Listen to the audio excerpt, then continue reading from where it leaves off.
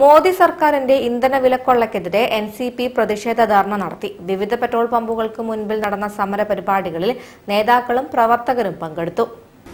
മോദി സർക്കാരിന്റെ ഇന്ധനവില കൊള്ളക്കെതിരെ N C P നഗരത്തിൽ പാളയം പെട്രോൾ പമ്പിന് മുൻപിൽ പ്രതിഷേധ ധർണ നടത്തി.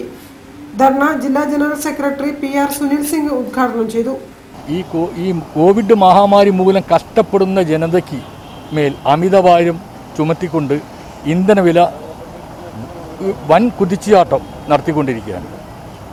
ഈ ഇന്ധനവില വർധനവ് ഉപഭോക്തൃ സംസ്ഥാനമായ കേരളത്തിനെ സംബന്ധിച്ചോളം ഏറ്റവും കൂടുതൽ ബാധിക്കുന്ന ഒരു സംസ്ഥാനമാണ്.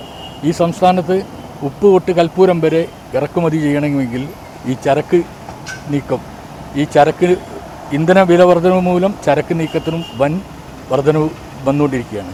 അപ്പോൾ ഇവിടെ കിട്ടേണ്ടുന്ന അവശ്യ സാധനങ്ങൾക്കൊക്കെ ദിനം പ്രതി വില വർദ്ധിച്ചുകൊണ്ടിരിക്കുകയാണ്. സാധാരണക്കാർ ജനജീവിതം ദുസ്സഹമായി നട്ടലിലൊടിഞ്ഞ ഈ സമയത്ത് ജനങ്ങളുടെ മേൽ ഈ അമിതഭാരം ചുമത്തുന്ന കേന്ദ്ര സർക്കാരിന് എതിരെ ആണ് എൻ സി പി ശക്തമായ പ്രതിഷേധ പരിപാടികളുമായി മുൻപോട്ട് പോകുന്നത്.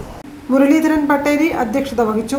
സംസ്ഥാന നിർവാഹക സമിതി അംഗം advocate M P Suryanarayanan C E V Gafoor S V Abdul Saleem Firoz വേളയിൽ കെ ജംഷീർ ബാബു എന്നിവർ സംസാരിച്ചു. ഇന്ധന വില വർധനയിൽ പ്രതിഷേധിച്ച് ബേപ്പൂർ മണ്ഡലം എൻ സി പി കമ്മിറ്റിയുടെ നേതൃത്വത്തിൽ ബേപ്പൂർ പെട്രോൾ പമ്പിൽ പ്രതിഷേധ കൂട്ടായ്മ സംഘടിപ്പിച്ചു. കെ വിശ്വനാഥൻ ഉദ്ഘാടനം ചെയ്തു.